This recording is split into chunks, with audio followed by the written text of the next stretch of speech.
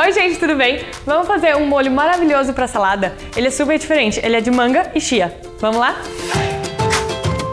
A gente vai precisar de uma manga inteira, 4 colheres de azeite de oliva, um pouquinho de chia, que dá umas 3 colheres, uma pitada de sal e uma de pimenta e 100 ml de água. E para adoçar, a gente vai usar um sachê de Sweet Lift, que é o nosso adoçante culinário. O modo de preparo é super fácil a gente só coloca todos os ingredientes dentro do liquidificador e a gente bate. E tá pronto! Super fácil, né? Aqui eu já separei uma salada de folhas de rúcula e alface, mas pode usar qualquer salada que você quiser.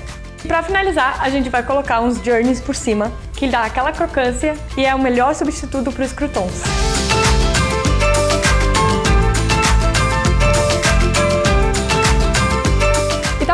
Nossa receita. Esse molho deixa qualquer salada simples super especial. Se você gostou dessa receita, curte, comenta e se inscreve no nosso canal.